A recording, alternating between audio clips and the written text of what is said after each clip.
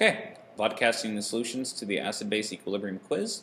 An Arrhenius acid is defined as an H plus donor. An example of that is hydrochloric acid because it starts with an H. An Arrhenius base is a hydroxide donor. An example of that is sodium hydroxide because it ends in hydroxide. A Bronsted and Lowry acid is the same as an Arrhenius acid, but they referred to the H plus as a proton donor. An example is also hydrochloric acid, HCl. A Bronsted and Lowry base is broadly defined as an H plus acceptor, and this is anything that's negative can attract that H plus. Okay, so for example, hydroxide is also a Bronsted and Lowry base, but it's not restricted to hydroxide. CO3 2 minus, chloride, permanganate, anything negative can attract an H plus or accept an H plus. A Lewis acid, Lewis focused on electrons, so he opened it up to saying a Lewis acid is an electron pair or lone pair acceptor. And the standard example there is boron trihydride because that little spot right there is open to electrons, trigonal planar. And a Lewis base is an electron pair acceptor. And that's really anything with lone pairs. So standard example is ammonia. There's the lone pair. Two, give an example of a chemical that behaves as both a Bronsted and Lowry acid and base. So there's an example of one. There's the acid part. There's the base part. This works because it can accept hydrogen ions or it can donate hydrogen ions. The seven strong acids, all you need are the formulas. HCl, HBr, HI, HNO3, HClO3, HClO4, and sulfuric acid, H2SO4. Define a strong acid fully ionizes. Okay, another word for ionizes is dissolves in H2O, and that would mean a weak acid only partially ionizes or dissolves in H2O. In terms of a reaction, we could look at a strong acid. We'll put HS for strong as it fully breaks in to H plus and S minus. These are aqueous because it's in water. Notice only this forward arrow because all it breaks into is H plus and S minus and this completely goes away. A weak acid will do HW for weak, partially breaks up. So some of it breaks up and some of it stays like this. And you also get the H plus and the W minus. And this is who we would use equilibrium at, to study. Because of the presence of this double-sided arrows and this partial ionization, an equilibrium is formed between this and these two species.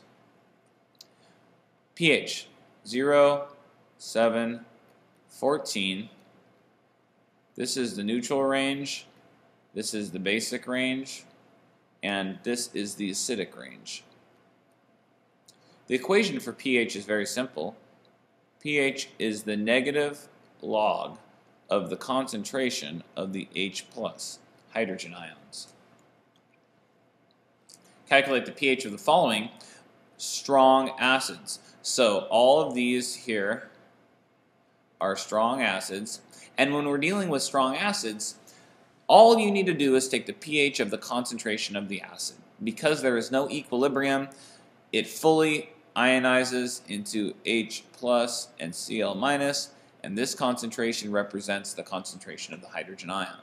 So pH equals the negative log, in this case, of 0.1, which equals 1. In this case, pH equals the negative log of 0.2, which equals 0.7. And in this case, pH equals the negative log of 0.1, which is 1. So it didn't matter what type of strong acid, as long as it was at the same concentration, the pH was going to be the same.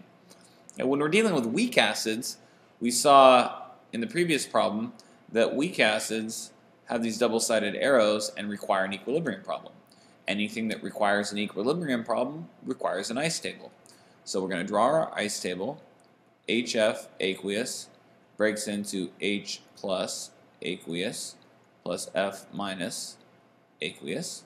We're going to write our K expression, which is F minus multiplied by H plus over HF. Okay, we're going to set up ICE. The initial concentration of HF is the initial concentration given in the problem, 0.100 minus x, x, x. And with all equilibrium problems, we're always given the initial concentration, so we can jump right to it. And this x is so small that we can consider it 0 on this side. So this is simply just 0.1, and these are both x. Now the problem is asking for the pH, and the equation for pH is the negative log of the H plus, so we need to get the negative log of H plus, which is x. So when we find x, we're going to go and take the negative log of x, and that's going to be the pH. So here's how we're going to go about doing it. We're going to plug these into the Ka expression. They gave us Ka, 3.39 times 10 to the minus fourth. And if we plug x in here and x in here, we get x squared over hf, which is 0.1 at equilibrium. And if we rearrange this for x and take the negative log of it, we get the negative log of the square root of 0.1 multiplied by 3.39 times 10 to the minus fourth. And the pH here is going to be around 2.2. Fairly acidic, but not as acidic as these because they were strong acids and this is a weak acid. For this problem, we're going to do the same exact thing. It's a weak acid. They gave us a Ka. HC2H3O2 aqueous breaks into H plus aqueous plus C2H3O2 aqueous we're going to do, we're going to write our Ka expression, which is going to be C2H3O2 minus concentration multiplied by H plus concentration over HC2H3O2. Okay. We're going to do our ice table. This is 0.1, 0, 0. It's going to shift right, x, x, x. We can assume that's close to 0. So we do that. We then plug our numbers in. 1.78 times 10 to the minus fifth is equal to x squared over 0.1. So if that's x and that's h plus, pH equals the negative log of x. So x is defined as the square root of 0.1 multiplied by 1.78 times 10 to the minus fifth and the pH is going to be around 3 in this case. Take care, guys.